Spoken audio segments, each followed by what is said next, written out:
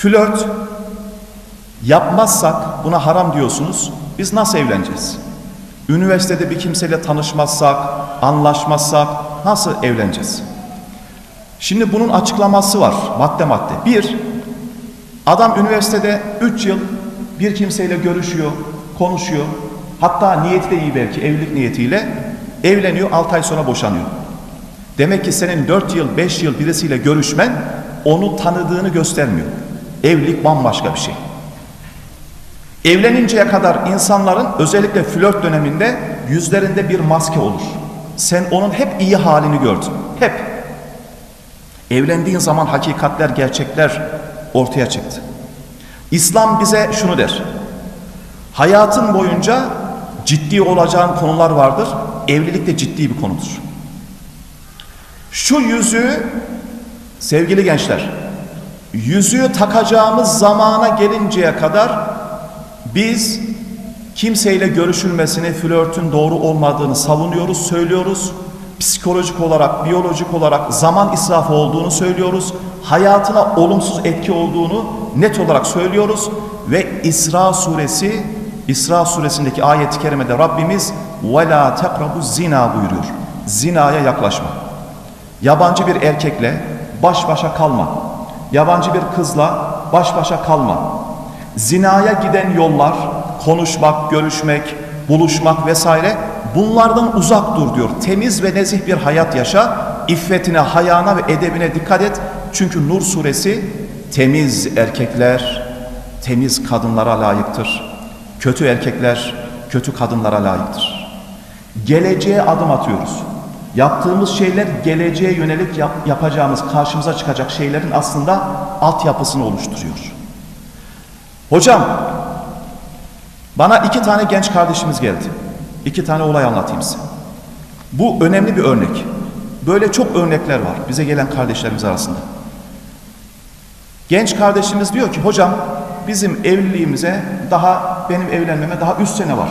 Beş sene var. Biz diyoruz ki kardeşim sen o zaman kendini ilme ver. Bu işlere bakma. Bu işlerle uğraşma. Ama son sınıfa gelmiş. Artık yüzüğü takabilecek hale gelmiş. Anne babasına söyleyecek duruma gelmiş. Olan kişi ne yapabilir? Bir kişiyle görüştüğü zaman ciddi adımlar atar. Ailesine söyler, söz olur, nişan olur vesaire. Peki biz bunu yapmayıp öncesinden anne babamızdan habersiz, nişan yapmadan öncesinden iki sene, üç sene görüştüğümüz zaman neler oluyor? O kişi seni terk edebilir. Sen onu terk edebilirsin bir sene sonra. Onun hayatına yazık, senin hayatına yazık. Hiç kimsenin duygularıyla oynamaya hakkımız yok. Hiç kimsenin hakkından, zamanından, senelerini almaya hakkımız yok. Nice hanım kızları tanıyorum. Üç sene gerçekten samimi evlilik niyetiyle görüştü. Üçüncü sene tam nişanlanacaklar. Adam başkasını buldu gitti. Şimdi kızımız haklı olarak soruyor. Benim üç senemin hesabını kim verecek? Nice erkek öğrencilerimizi tanıyorum. Evlilik niyetiyle iki sene, üç sene görüştü. Sonra hanım kızımız başkasına gitti. Bu kardeşimiz benim iki senemin hesabını kim verecek diyor haklı olarak.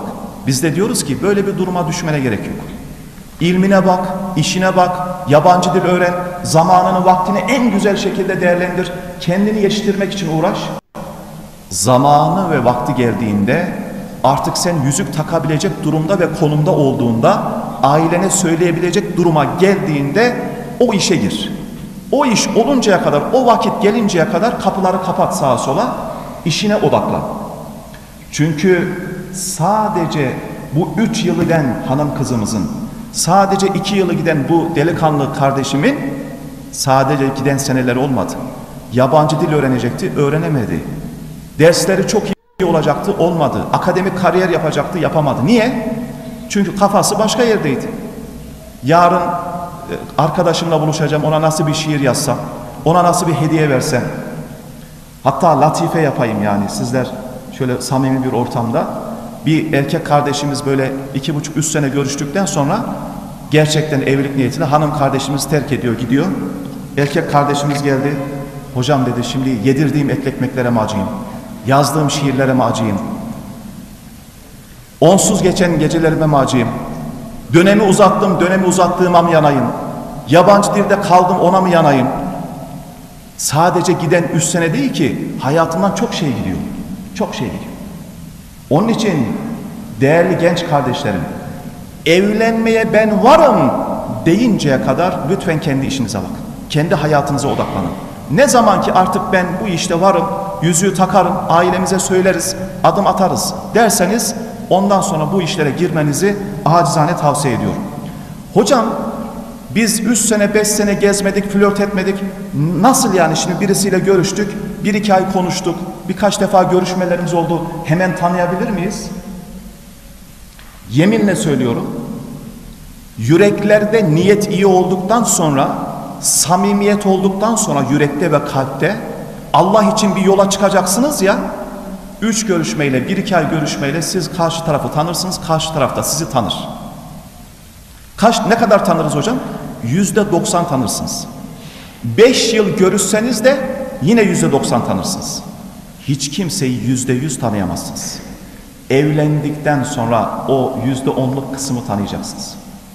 O da sizin artık kaderiniz olacak, nasibiniz olacak.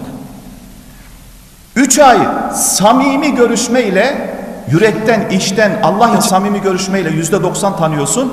Dört sene görüşsen de yüzde doksan tanıyorsun. Niçin öyle bir kaybımız olsun?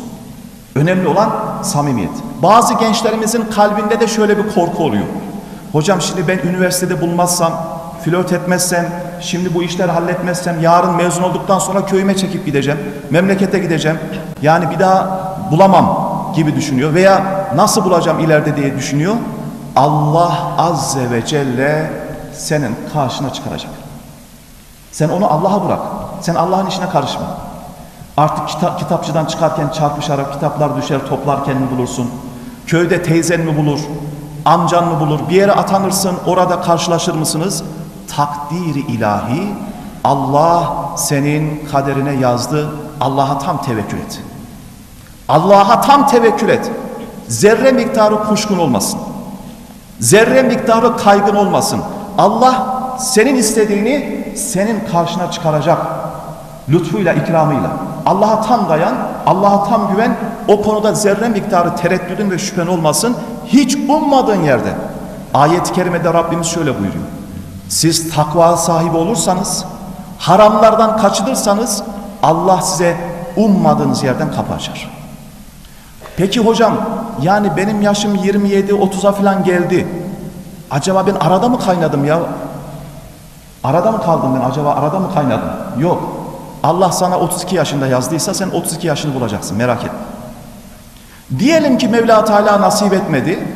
Hiçbir şey olmadı. Öyle olan kardeşlerimiz yok mu yeryüzünde? Bekar yaşayan, 40 yaşına gelmiş, 50 yaşına gelmiş. O da onun imtihanıdır. O da onun sabrıyla cennete gidecektir. Kimisine Mevla Teala çocuk verir. O bir imtihandır. Kimisine çocuk vermez, evlat vermez. O onun imtihanıdır. Kimisine kız verir, kimisine erkek verir, kimisine ikiz verir. Ayet-i kerimede geçiyor. Bunlar Mevla Teala'nın imtihanı olabilir. Biz Allah'a tam tevekkül edeceğiz. O bizim hakkımızda ne yazdıysa o olacak. Biz sadece vesileleri arayacağız. Mesela yaşı gelmiş olan bir genç kızımızın bir amcasına, dayısına, bir büyüğüne evlilikle alakalı evlenmek istediğini söylemesi asla yanlış değildir. Bunu yapması lazım. Vesileleri arayacak. Bir erkek öğrencimiz evlilik yaşına gelmiş, evlenmeye niyet etmiş. Çevresine, tanıdıklarına, büyüklerine artık evlenmek istediğini, bir aday aradığını söylemesi asla yanlış değildir. Biz vesileleri arayacağız, kapıları çalacağız. Allah Azze ve Celle de o kapıları ne yapacak? Biiznillahü Teala açacak. Daha geçen seneye kadar hocam herhalde ben evlenemeyeceğim bu gidişle yaşım geldi 28'e 30'a diyen nice kız öğrencilerimiz vardı. Şimdi düğünleri yapıldı, çocuklar oldu. Nice erkek kardeşlerimiz vardı, evlatlar oldu, çocukları oldu. Peki çok önemli bir soru var. Hocam evlilik için en ideal evlilik yaşları ne zamandır? Dikkat! 18 yaşından sonra hanım kızlarım, erkek kardeşlerim, 18 yaşından sonra evliliğin bir yaşı değil, vakti vardır. Evliliğin bir yaşı değil, vakti vardır. 18 yaşında, 19 yaşında bir genç kızımız evliliğe hazırdır. Evini de evirip çevirir. Öyle yetişmiştir. Delikanlı kardeşimiz 20 yaşında evlenir, evini de evirip çevirebilir. Ama öylesi vardır ki 28 yaşına gelmiş yani bakkala göndersen bir de arkasından sen gidip bakman lazım kaybolur. Kendini hazırlamanla, yüreğinin hazır olmasıyla alakalı bir şey. Şu söyleyeceğim şey bir tecrübe paylaşımıdır. Farz, helal veya haram değildir. Tekrar söylüyorum. Şimdi size yaş olarak söyleyeceğim şeyler bir tecrübe paylaşımıdır. Haram, farz, helalle alakalı değildir.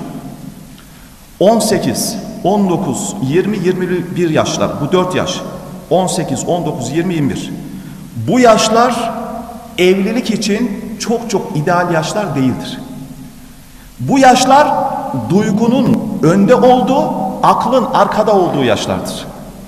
Yanlış tercihlerde bulunma durumlarının çokça olduğu yaşlardır bu yaşlar. Genel anlamda söylüyorum.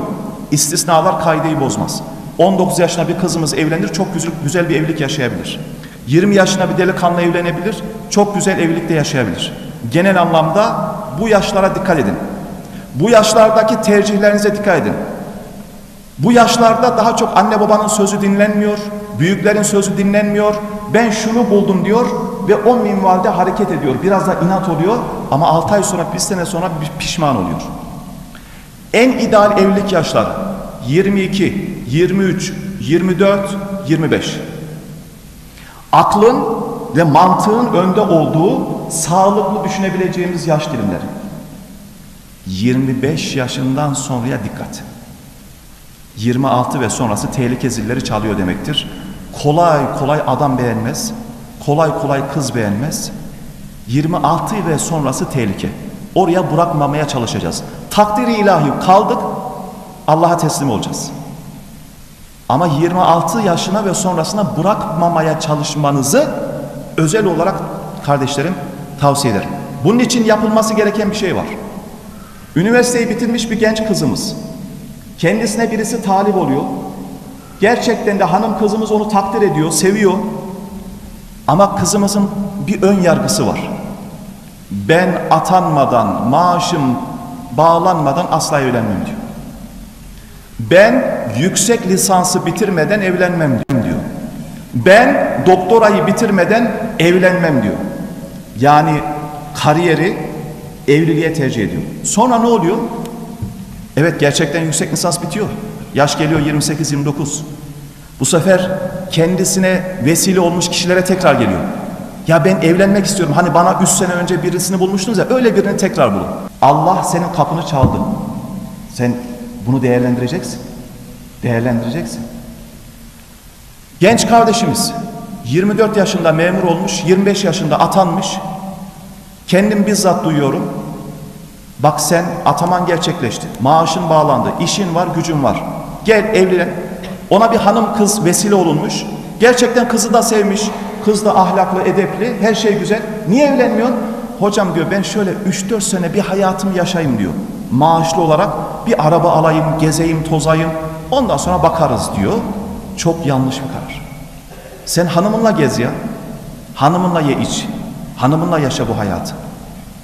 Demek istediğimi anladınız mı?